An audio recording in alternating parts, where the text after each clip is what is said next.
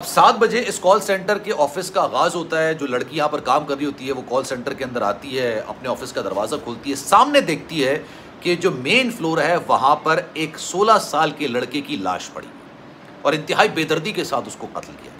उस लड़की के होश उड़ जाते हैं, उसके औसान ख़ता हो जाते हैं, वो भागते हुए मैनेजर के पास जाती है और कहती है कि हमारे ऑफ़िस के फ्लोर के ऊपर एक लड़के की लाश पड़ी हुई है। मैनेजर भागता भागता आता पता चलता है कि जनाब वो लाश किसी और की नहीं, बल्कि इसी कॉल सेंटर में काम करने वाले एक 16 साल के लड़के अब्दुल्ला की है। पुलिस तहकीकात का आगाज़ करती है, सीसीटीवी निकालती है, पता चलता है कि जनाब सात बजे ऑफ़िस का आगाज़ होता है, लेकिन तीन बजे के गालिबन ये जुम्मे का वाक़ है, तीन बजे के करीब ये अपने दोस्त, जिसका नाम सरफराज है, ये उसके साथ आता है और फिर सीसीटीवी में ये निकल कर सामने आता है कि सरफराज यहाँ से भागता है, जिसके कपड़ों पर खून लगा होता है। पुलिस सरफराज को पकड़ती है। सरफराज को पकड़ के लेकर आती है। अब वो ये बताता है कि जनाब, ये जो कॉल सेंटर का मालिक है हारिस कॉल सेंटर के जो मालिक है, जो मरने वाला है, वो उसका बहनोई होने वाला अस्सलाम आप सभी को खुश आमदीद। मैं हूँ सलमान मिर्ज़ा और आप देख रहे हैं मेरा यूट्यूब चैनल और Facebook page sum up with Salman Mirza. जनाब, क्या हाल हैं? कैसे हैं आप लोग? मैं उम्मीद करता हूँ, दुआ करता हूँ, आप जहाँ हो, खैर वाफियत से हों, सेहतमंद हों, तंदुरुस्त हों और ये वीडियो देखने के लिए आप सभी ने वक्त निकाला है। वीडियो के आगाज़ में तहे दिल से आप सभी का मैं शुक्रिया अदा करता हूँ। जनाब, दो रोज़ पहले शहर कायद कराची का इलाका है, लियाकताबाद नंबर दो। यहाँ से एक इंतहाई अफसोसनाक खबर निकल कर सामने आई थी। कराची के इलाके लियाकताबाद नंबर दो में एक कॉल सेंटर चलता है और इसका जो मालिक है, उसका नाम है हारिस। इसकी कुछ दिनों के बाद शादी होने वाली थी। लेकिन इस कॉल सेंटर के अंदर सात बजे के बाद मुख्तलिफ़ लड़का और लड़कियाँ यहाँ पर काम करते हैं। कॉल सेंटर में आप सब जानते हैं किस तरह का काम होता है। सात बजे का टाइम था। लड़की जो यहाँ पर काम कर रही होती है, ये इस कॉल सेंटर के अंदर आती है, अपने ऑफ़िस का दरवाज़ा खोलती है, सामने देखती है कि एक लाश पड़ी हुई है। उसके होश उड़ जाते हैं जनाब, वो चीखती चिल्लाती मैनेजर के पास जाती है। मैनेजर को बताती कि जनाब, हमारे जो ऑफ़िस का फ्लोर है, वहाँ पर एक लड़के की लाश पड़ी हुई है। मैनेजर आता है, मैनेजर आके देखता है जनाब कि जो लड़का है, ये इसी कॉल सेंटर के अंदर काम करता है, जिसकी उम्र 16 साल है और इसका नाम अब्दुल्ला है।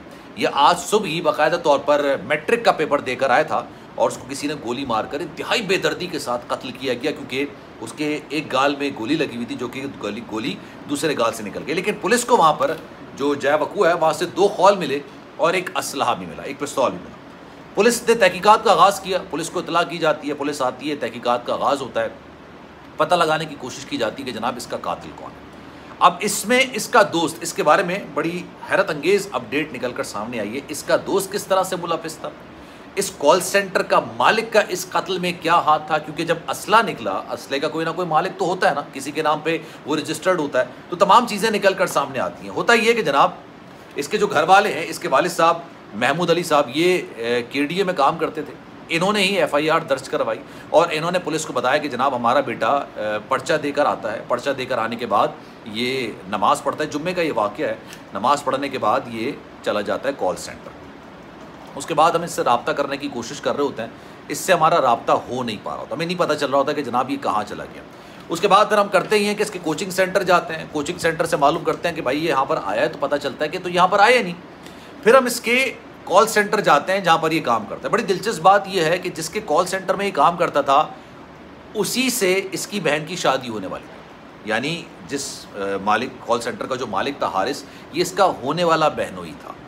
अब होता ही है कि पुलिस जो है वो सीसीटीवी वीडियो निकालने की कोशिश करती है, क्योंकि ये इलाका ऐसा कि यहाँ पर कैमरे लगे हुए होते हैं। सीसीटीवी कैमरे की मदद से पता चलता है कि जनाब ये गालिबा कोई तीन बजे के करीब, हालाँकि सात बजे कॉल सेंटर अपना काम शुरू करता है, लेकिन ये तीन बजे अपने एक दोस्त के साथ आता है और उस दोस्त का नाम होता है सरफराज।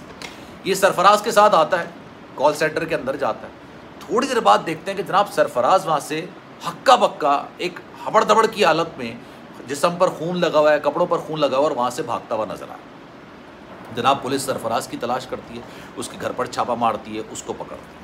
उसको पकड़ने के बाद थाने लेकर आया जाता है, उससे पूछता है कि भाई, ये आपने आखिरी शख्स थे जिसने अब्दुल्ला को ज़िंदा देखा था, वहाँ पर हुआ क्या? और आप इस तरह से हड़बड़ाते हुए क्यों भाग रहे हैं कॉल सेंटर से? आप तो उसके साथ ही अंदर दाखिल हुए थे। अब वो जो कहानी सुनाते हैं ना, यकीन जानिए, वो कहानी कुछ इस तरह की है कि मेरा दिल हिल रहा था जब मैं सारी चीज़ों को पढ़ रहा था। उसकी वजह यह है कि हमारे माशरे के अंदर टिकटॉक ने जिस हद तक बेशर्मी फैलाई है, जिस हद तक टिकटॉक ने हमारे माशरे के अंदर गलाजत फैलाई है, उसकी मिसाल ही नहीं मिलती।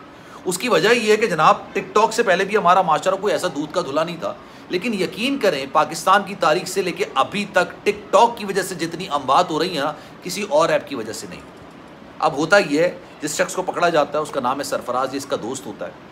ये कहता है कि जनाब मैं इसके साथ अंदर गया हमने एक टिकटॉक बनाना था और टिकटॉक जब हम बना रहे थे तो पहले मैंने टिकटॉक बनाया तो इसने जो असलाह था ना वो मुझ पर ताना हुआ था। कुछ वीडियो इस तरह की बनानी थी। जनाब वो ताना हुआ होता है उसके बाद हम वीडियो बना लेते हैं। फिर वीडियो बनाने की बात आ, बारी आती है अब्दुल्ला की। अब्दुल्ला वीडियो बनाने लगता है तो मैंने असलाह तान लिया उस पर और अचानक मेरे हाथ से गोली चल गई। अच्छा पुलिस ये पूछती है भाई असलाह वहाँ पर आया कैसे? तो कॉल सेंटर था। यहाँ पर असलाह कैसे आ गया? अच्छा पुलिस को ये पता चलता है कि ये असलाह हारिस, जो कि उसका बहनोई और इस कॉल सेंटर का मालिक है, उसका ये असलाह होता है और उसने, सबको पता होता है कॉल सेंटर में काम करने वालों को को यहाँ पर असलाह रखा होता है ताकि, क्योंकि रात बेरात काम कर होते हैं, सात बजे ऑफ़िस का आगाज़ होता है, रात बेरात चलता रहता है इनका काम और पैसे की लेन देन होती है तो उन्होंने कहा कि हमने सिक्योरिटी पर्पज़ के तहत यहाँ पर असला रखा हुआ था। अब सरफराज ये कहता है कि मेरे हाथ से गोली चलती है और जब मेरे हाथ से गोली चलती है ना तो मैं परेशान हो जाता मैं घबरा जाता हूँ। और घबराहट की हालत में मैं फिर मेरे कपड़ों में खून लग जाता है, उसके बाद मैं यहाँ से भागता हूँ और भागने के बाद मैं यहाँ से जब निकल रहा होता हूँ तो उसके बाद मैं फिर यहाँ से निकल के घर जाता हूँ। घर जाने के बाद मैं अपने कपड़े खून आलू जो होते हैं उनको चेंज करता हूँ और उसके बाद मैं ट्यूशन सेंटर चला जाता हूँ। मतलब एक 16 साल का 17 साल का लड़का, उसके हाथों गोली चली है, अपना दोस्त उसका कत्ल हुआ है, लेकिन उसके सेंसेस देखें, वो कपड़ा चेंज करते हैं और उसके बाद वो चले जाते हैं कोचिंग सेंटर अब पुलिस कहती कि जनाब, ये टिकटॉक किसकी मर्ज़ी से बनाया जा रहा था? तो उसने कहा, जनाब, अब्दुल्ला को पता था कि यहाँ पर असलाह रखा होता है और ये मेरे बहनोई, होने वाले बहनोई का असला है तो हमने सोचा कि यहाँ पर टिकटॉक बना लिया जाए और उसी वजह से इसकी मौत वाक़ अब पुलिस ने सरफराज को भी हिरासत में लिया है और उसका जो बहनोई, होने वाला बहनोई हारिस, जो कि कॉल सेंटर का मालिक है, उसको भी हिरासत में ले लिया है। उससे तहकीक़ात का आगाज़ किया जा रहा है और इनके जो वालिद साहब हैं, जिन्होंने जो मुद्दई हैं महमूद अली साहब, उन्होंने कहा कि ये टिकटॉक वाली जो कहानी है ना, ये कातिल को छुपाने की कोशिश की जा रही है। ये वाक़ कुछ और है। ये वाक़ कुछ और है और ये वाक़ बनाने की कोशिश की जा रही है कि इसको टिकटॉक का रंग दिया जाए, कि टिकटॉक में अचानक गलती से चल गई, बच्चे का कसूर नहीं था। इसको कत्ल नहीं, बल्कि हादसे का रंग देने की कोशिश की जा रही है। अब पुलिस इसकी तहकीकात करिए, लेट्स सी आगे चल के क्या होता है, लेकिन जनाब, आखिर में मैं आपको एक बात और बोलूँ। हमारे यहाँ टिकटॉक पर किस तरह का कंटेंट बेचा जाता है? कभी गौर कीजिएगा। देखने में बड़ा अच्छा लगता होगा आपको। यकीन जानिए, मैं टिकटॉक नहीं देखता। मैं अपनी जो यूट्यूब के लिए वीडियोस बनाता हूँ, उसको अपने टिकटॉक पर अपलोड ज़रूर करता हूँ, लेकिन मैं किसी का टिकटॉक नहीं देख रहा होता, क्योंकि टिकटॉक एक बड़ी अच्छी ऐप है, जहाँ पर आप बहुत कुछ क्रिएटिव कर सकते हैं। आप जिम की मालूम दे सकते हैं, आप मेडिकल की मालूम दे सकते हैं, आपके पास कुछ नॉलेज है, आप उसको दे सकते हैं, आप अपने फॉलोअर्स ले सकते हैं। पूरी दुनिया के अंदर इस एप्लीकेशन का बड़ा अच्छा इस्तेमाल किया जाता है। इस ऐप का बड़ा अच्छा इस्तेमाल किया जाता है। लेकिन हमारे यहाँ क्या हो रहा है? हमारे यहाँ जिसम की नमूदो नुमाइश को कंटेंट का नाम दिया जाता है टैलेंट का नाम दिया जाता है। जिस तरह से बेढंगे तौर पर हमारी जो यूथ है, लड़का लड़कियाँ हैं, जो चल रहे होते हैं, जिस तरह की वीडियो बना रहे होते हैं, जिस बेशर्मी का मुजाहरा करते हैं, उसको बाकायदा तौर पर कंटेंट का नाम दे रहे होते हैं।